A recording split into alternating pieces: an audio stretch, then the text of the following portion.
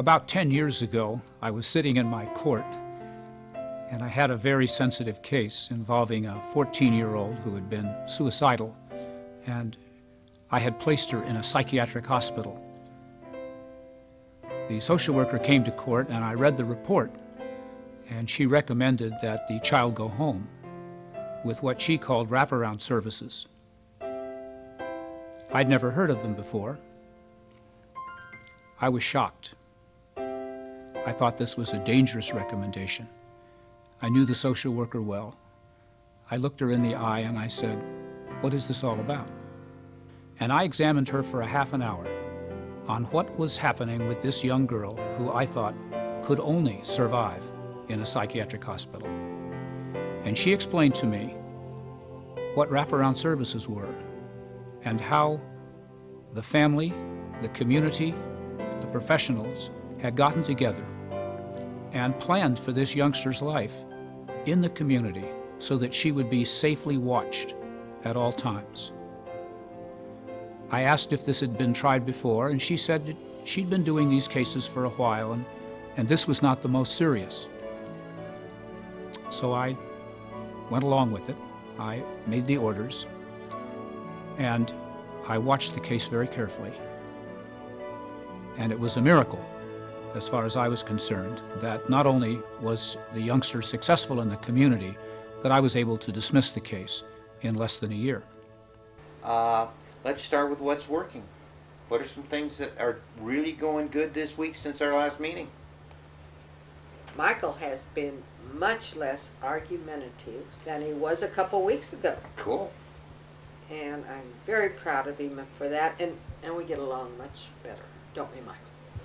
You know, I probably can't really explain it as well as I probably will, but um, just changing my attitude, realizing what, how that, how, what, what, um, realizing what was happening by me doing it, and realizing that's not what I, what I wanted. So I just changed, and everything, we've been in a better mood. All right, so let's see. Let's talk about what's working, what's happening, what is going okay, what's working for us. Well, her meds are working since we put her back on them. Oh, okay. For you, Ginger, since being back on the meds, what's working for you? That's basically working. what what change? What what are, what are the most noticeable changes that you feel inside, or thing that you say? I'm more calm. Calmer. Calmer. Okay. So let's talk about um, what's working, the good stuff. What's been going on with you guys? Um, I don't know. I guess um, I've been going to school. I've been taking the baby to school with me.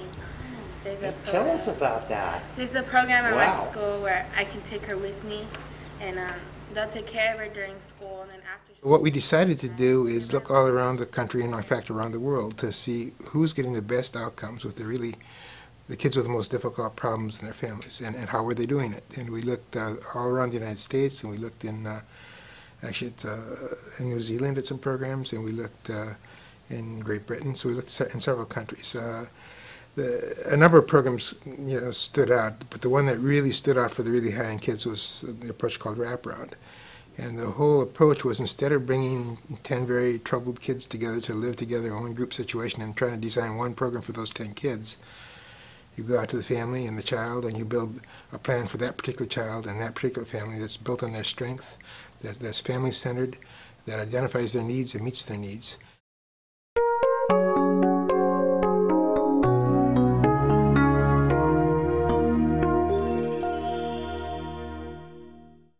The child for whom wraparound is, is best designed is a child facing multiple adversities. These children come from um, difficult environments, including their neighborhood, uh, high risk uh, families, uh, high risk um, communities in general, oftentimes uh, poorly um, organized schools. And then on top of that, they have uh, severe uh, mental illness. And so, in, in the context of, of the child who's facing multiple adversities such as these, we find that a multifaceted ecological approach is just much more effective many times when I've gone to hear their story and I've asked them, please tell me about your child's strengths, they'll cry I'll be the first person that they, they have heard that from in the system. The first clinician that has wanted to know and has gotten more invested in hearing about their child's strengths and goals and dreams. And then when they get to experience us investing in these creative strategies to meet those needs, suddenly that gains so much more importance than what initially was driving them to seek help. So they put him in this group home, and he was um, like 10 or 11, and the youngest next to him was 14. Those kids all had jobs, they, and they treated him differently than he'd ever been treated. And he started throwing things and talking back and broke their screen door and everything. At 11 o'clock one night, they called me and said we've had to send him down to juvenile hall. That's been his only time in juvenile hall, but they said there's no way he wanted to live there. Program Uplift came into our life and they backed him up at school so he could stay in school. They sent a worker or a specialist, they call them program specialists, over to the school for recess so they wouldn't get in any fights. The first thing I ever really knew about wraparound, I heard from a woman at a symposium who was in our system. And she said her child had been in our system for several years. And we kept telling her we'd do this for the child or we'd do that. And she said sometimes it would happen and other times it wouldn't. And then somebody came to her and said, We have a new program. It's called Wraparound. We would like to see if you're interested. And very skeptically, she went into it. And she said she couldn't believe it. They asked her what she needed. She told them she needed somebody to come to the house and help her get the kid out of bed in the morning. And she thought they would laugh at her.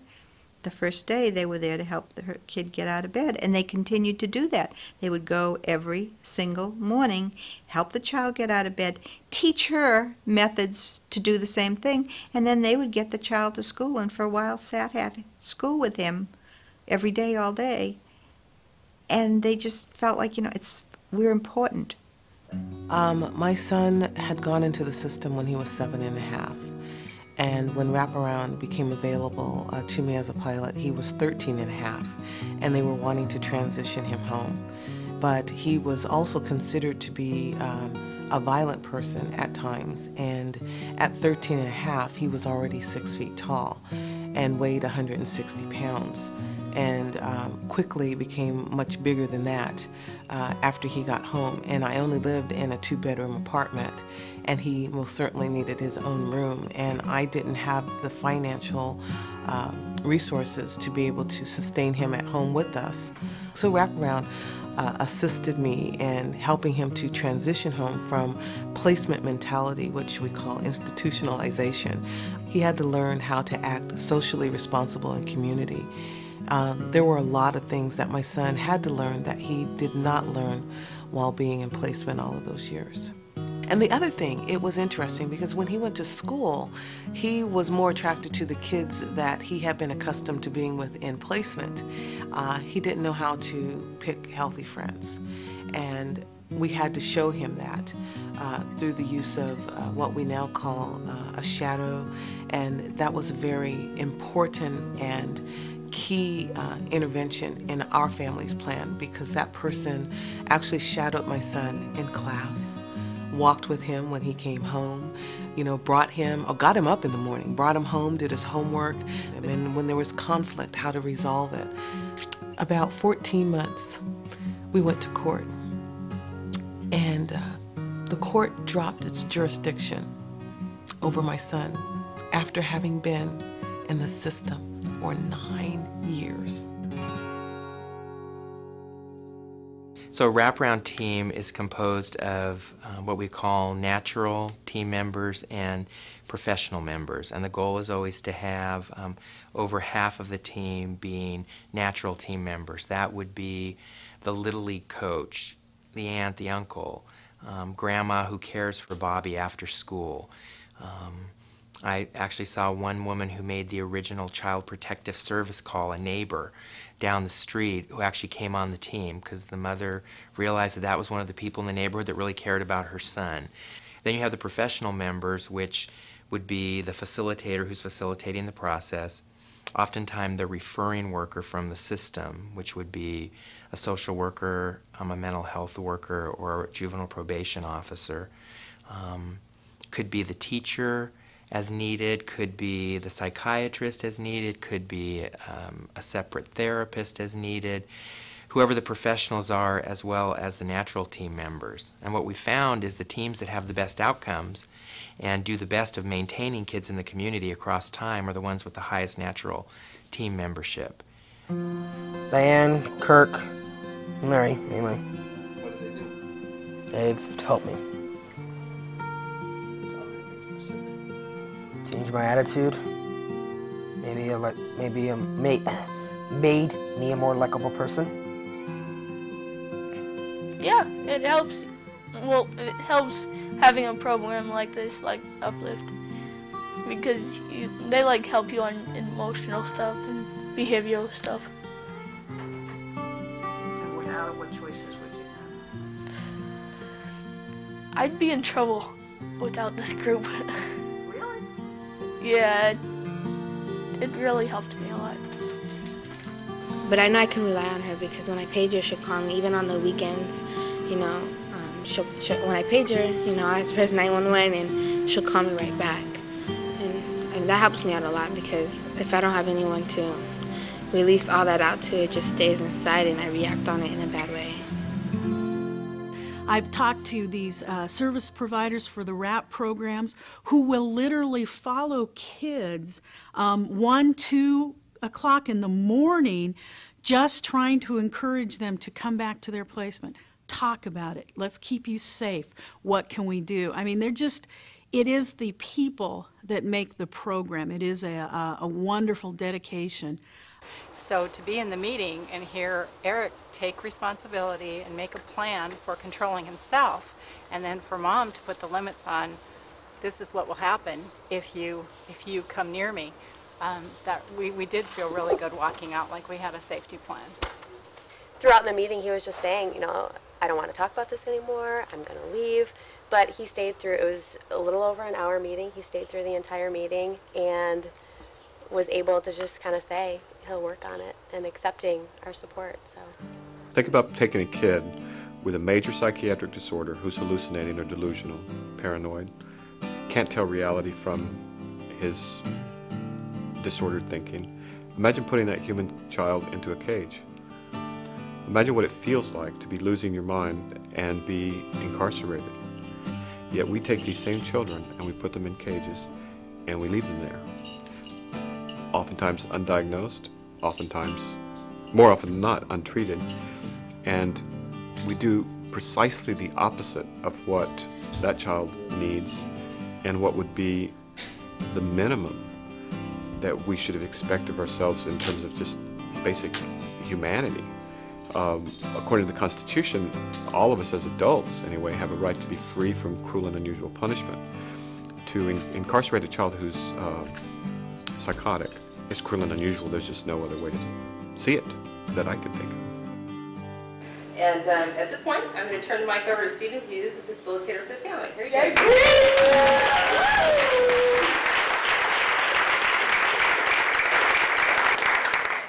You know how we always talk? We never give up on a family. I'm going to give you a family that never gave up on themselves. This family started the program Uplift in 1997. I'd like to introduce the Mi- family.